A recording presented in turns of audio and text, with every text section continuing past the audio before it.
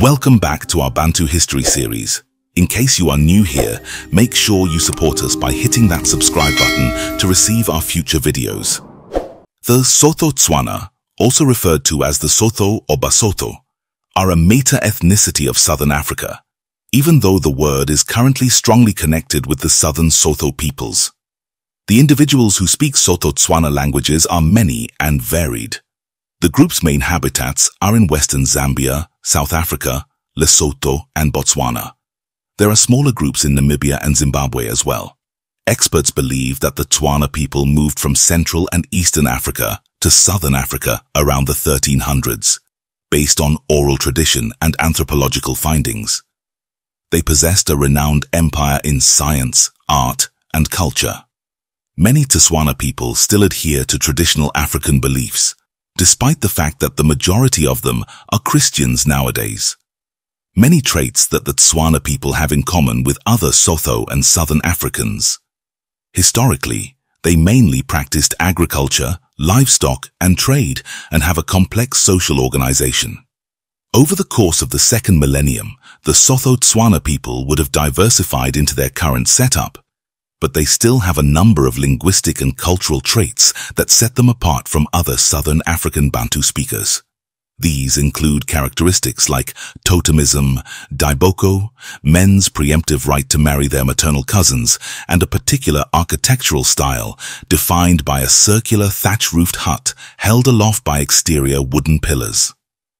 Their preference for close-knit communities and their attire of skin cloaks together with their history of massive stone construction, were other key characteristics that set them apart. The group is primarily composed of four clusters, the Lozi, the Tswana, and the Kgalagadi.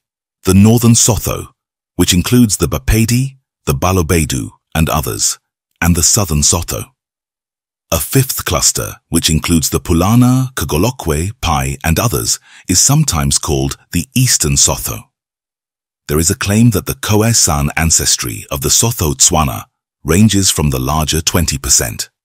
The Venda or Vavenda originated in the Great Lakes region of Central Africa, same like the majority of other South African ethnic groups. Initially, they made their home in the Soutpansberg Mountains.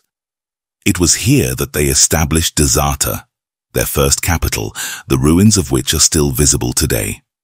The traits of several different civilizations, including Nguni, Sotho, East African, and Central African, seem to have been absorbed into the Venda culture.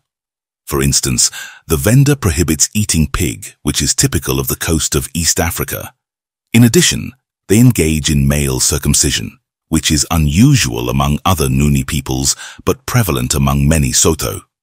In the 16th century, the Venda language, also known as Tshivenda or Luvenda, became separate from other dialects. The vocabulary of Tshivenda in the 20th century was comparable to that of Sesotho, while the grammar is more like that of Shona dialects spoken in Zimbabwe. In South Africa now, over 875,000 people speak Tshivenda. The Mapungubwe Kingdom 9th century marks the beginning of Venda history. Historical research indicates that Venda and Mapungubwe's first king was King Shiriyadenga. His offspring succeeded Shiriyadenga. The real Venda people can be split into two groups, an eastern group that identified as the descendants of Lwamonde, Rambuda, Tshivashe, and Mphapuli, and a western group that was mainly of Singo ancestry and derived from followers of leaders like Mphephu, Senthumule, and Kutama. It was thought that by striking a unique drum known as the Ngoma Lungundo, or drum of the dead, the Singo ruler could keep his people safe from enemy invasion. The Tsonga people A Bantu ethnic group known as Vatsonga is mainly found in South Africa's Limpopo and Mpumalanga provinces as well as southern Mozambique. They converse in the southern Bantu language of Xitsonga, there is also a very little Tsonga population in northern Eswatini and Zimbabwe.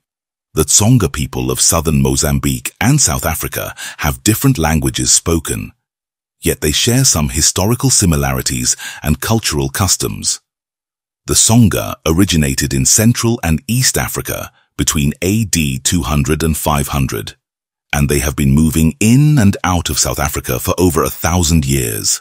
They first resided on the coastal plains of northern Mozambique, but they eventually relocated to the Transvaal province and sections of St. Lucia Bay in South Africa as early as the 1300s. The Tsonga practiced mixed agriculture and pastoralism. The staple foods grown are cassava, millet, maize and sorghum.